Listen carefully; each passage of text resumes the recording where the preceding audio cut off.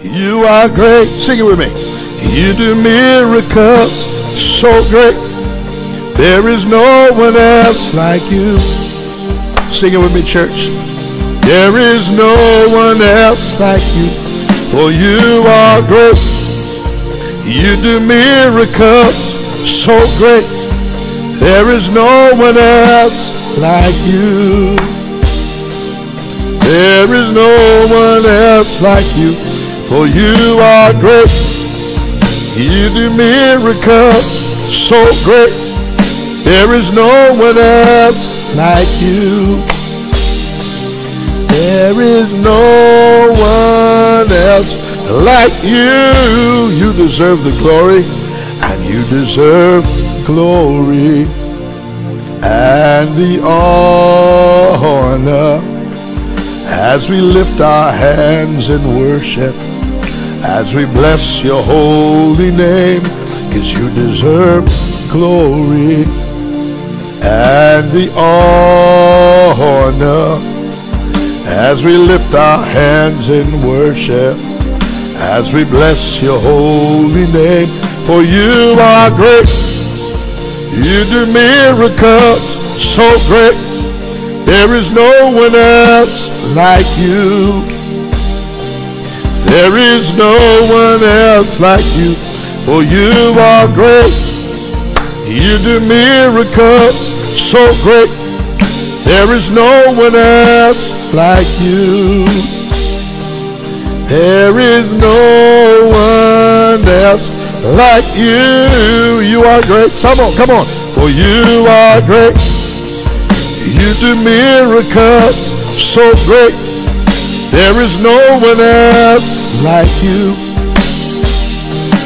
There is no one else like you.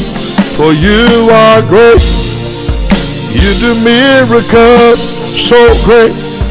There is no one else like you. There is no one else. It's here, the book we've been waiting for Seven Ways the Holy Spirit Speaks to Us, a complete guide to hearing God. Pastor Sean Pinder gives readers life changing keys on exploring, understanding, and experiencing the voice of God, which every believer can hear on a daily basis. Packed with powerful revelations, this book shares the methods, means, and motivations for the voice of God and provide answers to questions like how to hear God, recognize His voice, tap into His guidance, and much more. Receive confidence on hearing God through the Word, dreams and visions, divine impressions, and more. And discover a much deeper and more intimate walk with the Lord. Order 7 Ways the Holy Spirit Speaks today, available on Amazon and all major book suppliers.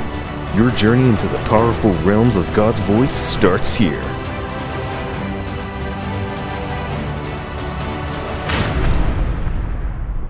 So this morning, just for a few minutes, I really felt led by the Holy Ghost to take my time and talk to you a little bit about supernatural success secrets.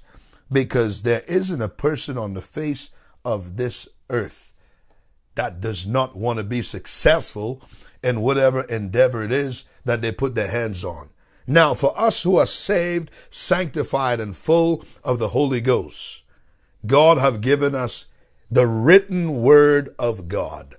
And what I'm reading to you this morning, it's going to really reveal to you how to be successful in whatever endeavor it is that you put your hands on. But the first and foremost thing is you got to be saved, sanctified, full of the Holy Ghost, and surrendered your life to the Lord Jesus Christ. Because you can't make it without Jesus.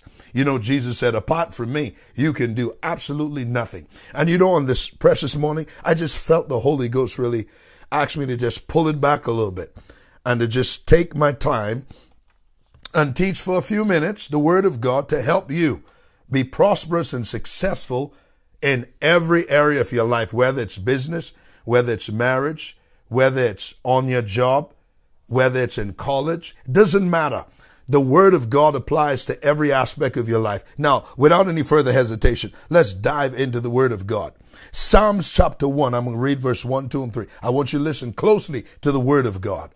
The Bible says, Blessed is the man that walks not in the counsel of the ungodly, nor stands in the way of sinners, nor sits in the seat of the scornful. Now, the Bible says, Blessed is the man who walks not in the counsel of the ungodly. Ungodly counsel is taking advice from people who are not saved and full of the Holy Ghost, people that will give you immoral advice that goes against the Word of God, that goes against the Christian conviction that goes against what Jesus Christ died for on Calvary Cross, the Son of God. I want you to hear me, and I'm, I'm crystal clear about this. I have no trouble with not trying to be politically correct because that's why a lot of people are in trouble right now. I'm not trying to be politically correct. I'm a preacher of the gospel of the Lord Jesus Christ, and I make no apologies for standing on the word of God. Now, watch this.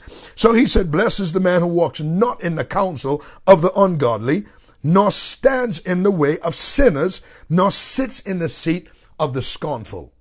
The scornful are prideful, haughty people who think they are better than everybody on the planet. Run far away from those people because the Bible says pride comes before fall and a haughty spirit before destruction. Amen. The Bible says, Blessed are the meek, for they shall inherit the earth. Now, watch this. Let me move forward because I want to get to my main point here.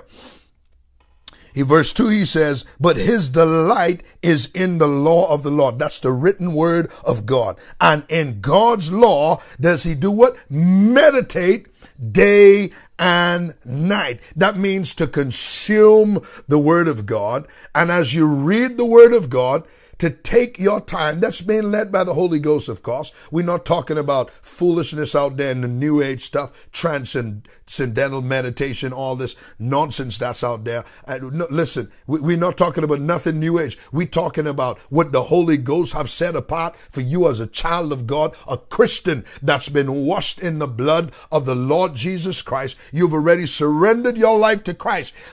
God is talking to you from his word. He said, but you, your delight is in the word of God and in his word do you meditate day and night. That word meditate actually means to think about the written word of God, to take your time and ponder on scripture. I want you to hear me good.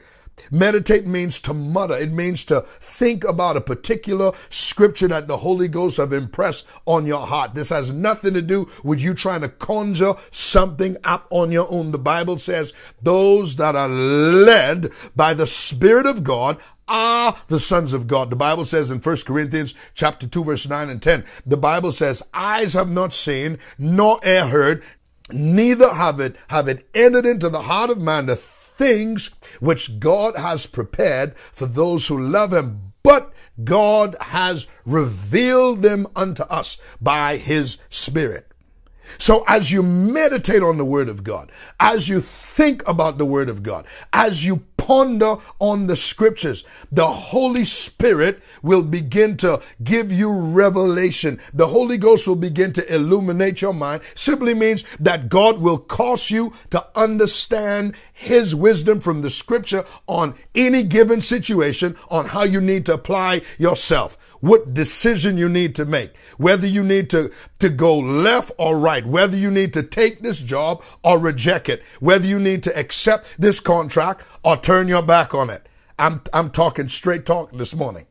So he said, but his delight is in, in the word of God and in his word does he meditate day and night. Listen to what's going to happen. The Bible says in Psalms 1 3, he shall be like a tree planted by the rivers of water. Planting has the idea of being stable. Listen, if you are unstable, it's because you are not meditating in the word of God. If your life is a life that's lived without direction, you are just on the spur of the moment type person, you need to pull it back and sit and wait on God. Because as you wait in the presence of God and meditate on the scriptures and study the word of God, the Holy Ghost will illuminate the word of God. The Holy Ghost will cause you to understand what God wants you to understand on the everyday decisions you have to make. And these are the things that lead to success because the Bible says, He should, the man who meditates, verse 3 of Psalms 1, he shall be like a tree planted by the rivers of water that brings forth fruit in his season. Listen good. His leaf also shall not wither, and whatsoever he does will prosper. And if you look at people in the kingdom of God who are prospering, it just seems like everything they put their hands on, it turned to gold. It's not because they are lucky. It's not because, because they are God favors them more than you. It's simple because that person is taking time out with God. They're spending time alone with God. They're spending time meditating and, and meditating in the Word of God, and the Holy Ghost is bringing direction to their life. Remember Martha and Mary. Uh, the Bible says Martha looked at Jesus and he said, Master, aren't you going to tell Mary she need to come and help me uh, carry on the duties of the house? And Martha was upset because Mary was sitting at Jesus' feet and listening to his word. Jesus said, Martha, Martha, you are cumbered about with much stuff and being distracted. But Mary have chosen that good part which will never be taken away from her. And what was that? Sitting at his feet and listening to his word. Let me read something to you from Proverbs chapter 6. I'm coming back into what I'm talking about, but let me go into Proverbs chapter 6. I want to read verse 22 and 23 for the person that meditates on the word of God. Listen to what the word of God says in Proverbs 6:22. When you go, it will lead you. The word of God, the Holy Ghost will use the word of God to lead you. When you sleep, it will keep you. When you're awake, it will talk to you. Have you ever been driving your car and all of a sudden, wham, seems like the light comes on and all of a sudden a scripture that you hadn't heard or even talked about in a few years, all of a sudden the scripture takes on meaning and it's the scripture you need. It's, and it comes at the right time. Have you ever listened to one of our broadcasts or another man of God or another woman of God broadcast and they are all of a sudden they're sharing the word of God and it's exactly what you need on the spur of the moment. That's because the Holy Spirit is illuminating your mind. He's bringing direction into your life. He's bringing clarity into your life. And this is why some people get frustrated and say, oh, God's not answering their prayer. No, no, no, no, no. God wants to answer everyone's prayer. Hello, somebody that Jesus said, ask and you shall receive. But the problem is people are so busy about with their everyday life, they do not want to take time out with God. And as a result, they're making bad decisions and they have to live with the consequences. And they want you to pray them out of these situations where they have disobeyed the written word of God. They did not wait on God. They got themselves in a mess and now they expect you to come and pray them out of their mess in, in a few few minutes. It don't work that way. You're going to have to, to get out of that mess you are in. You're going to have to get alone with God, meditate on the word of God, listen to anointed preachers, listen to anointed worship music, and spend time alone with God until the Holy Ghost use the word of God to bring direction into your life. The Bible says he should, let me go back to Psalms 1. The, no, sorry about that. Let me finish Proverbs 6.22. It says, when you go, it will lead you. When you sleep, it will keep you. And when you awake, the word of God will talk to you. Why? Verse 23, for the commandment is a lamp, the law is light, and reproofs of instruction are the way of life. That's why David said in Psalms 119, verse 105, thy word, O Lord, is a lamp unto my feet and a light to my pathway. I, I, want you to hear me. So David was a man who spent time meditating in the word of God. David was not successful by coincidence. David's given you the secret. David said, on God does he wait all the day long. David said, Lord, I meditate on your precepts. That's meditating on the word of God. And as a result of David meditating on the word of God, God brought clarity and direction into David's life. The Holy Ghost used the word of God to just bring direction. Listen, that's what Jesus meant when when he said in John chapter 16, verse 13, Jesus said, When the Holy Spirit of truth has come, this belongs to every child of God. Jesus said, The Holy Ghost will guide you into all truth, for he will not speak of himself, but whatsoever he hears, that will he speak, and he will show you things to come. And Jesus said the Holy Ghost will guide you into all truth. Well, Jesus clarified what truth is in the book of John, chapter 17. Jesus said, Oh Lord, thy word is truth. So Jesus said the Holy Spirit will use the written word of God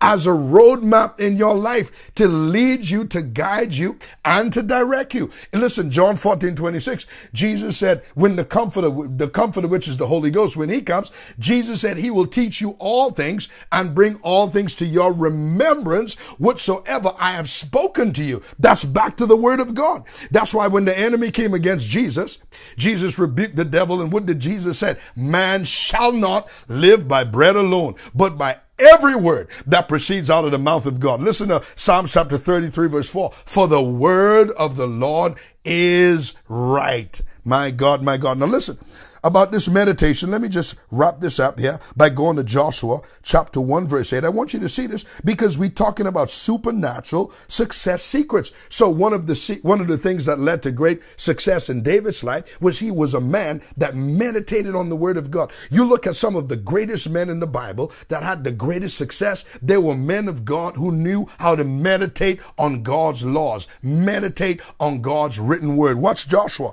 Listen to what God said to Joshua in the book of Joshua. Joshua, chapter 1, verse 8. This is the same Joshua who conquered Jericho. The walls of Jericho fell down flat. My God, the Jordan River dried up for Joshua to walk over on dry land. I'm telling you, listen to this. Here's Joshua's secret. This is what God said to him in Joshua chapter 1, verse 8. This book of the law shall not depart out of your mouth, but you shall meditate therein. How much?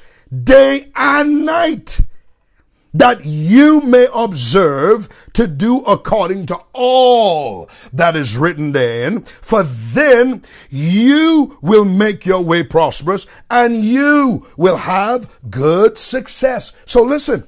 So God was telling Joshua, as you meditate on the word of God, Josh, I'm going to reveal to you, the Holy Ghost is going to reveal strategies to you from the Word of God that shows you the steps that you need to take. It was when Joshua was meditating. He was looking at the walls of Jericho and meditating, wondering how on earth can he knock these walls down because he know he didn't have the manpower, nor did he have the artillery, nor the weapon, nor the machinery to knock the walls down. And whilst he was waiting before God, the angel of God, which was Christ, Christ Jesus appeared to Joshua, the captain of the hosts of God, that's Christ himself. And he said to Joshua, Joshua, march around the walls of Jericho once for seven days, once every day. And on day seven, march around seven times. And when you shout, the wall is going to fall flat. That makes no sense. But that's what happened when we meditate on the word of God.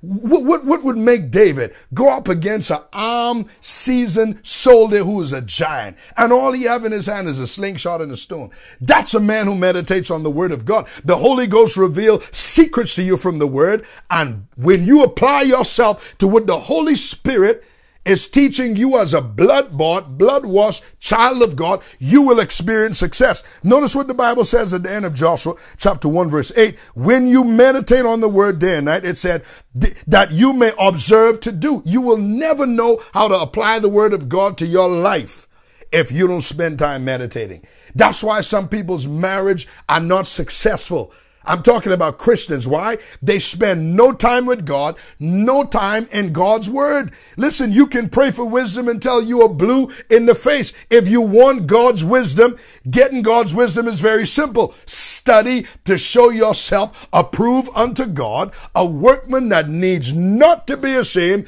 rightly dividing the word of truth. Some people want to know how to get out of debt. Your answer is in the word of God. Some people want to know, what do I need to do for my business to succeed? Your your answer is in the Word of God. Some people need to know, how can I get a raise on my job? What do I need to do to get promoted? Your answer is in the written Word of God. And some people want to want shortcuts to success. There's no shortcut. You are going to have to pay the price and get alone with God are you listening to me? Until the Holy Spirit shows you from God's word how to apply yourself, how to apply the word of God to a given situation in your life. And the Bible says in Joshua 1 8, when you do it, you will make your way prosperous. Not nobody else. You will make your way prosperous. Not only will you make your way prosperous, but you will have good success. Listen, I want to give you an opportunity on this morning to sow a seed into the kingdom of God, into the work of God, into the preaching of the gospel. To do so, you can visit us online right now. SeanPinder.net forward slash give. SeanPinder.net forward slash give. You can also give through the ministry PayPal account. That address is paypal.me forward slash Sean Pinder Ministries. PayPal.me forward slash Sean Pinder Ministries. You can also give through the ministry Zelle account. Our ministry Zelle account email address is info at seanpinder.net. Info at seanpinder.net. You can also give through the ministry Cash App account. That address is the dollar sign Sean Pinder Ministries. The dollar sign Sean Pinder Ministries. You can also give by mailing your donations into the ministry.